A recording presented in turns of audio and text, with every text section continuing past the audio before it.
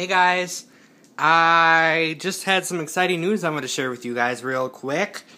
I just filmed my first episode of a new online web-based cooking show that I just started. Um, I think I can probably tell you what I'm calling it.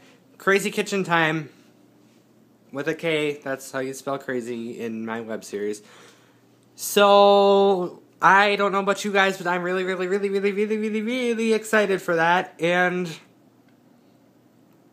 I really want to show you what I made. What I made, but I don't want to give too big of a spoiler alert. So you guys are going to have to subscribe to my main YouTube channel, iDamian TV, I D A M I A N TV, because that's where it will be hopefully soon.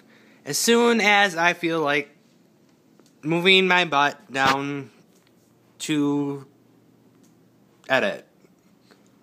But I got a lot of homework to do now, so that's going to happen first. Then, edit video. Then, schedule video. Then, YouTube scheduler won't work and video won't get scheduled or posted, and then I have to start all over again because that's what happens right now.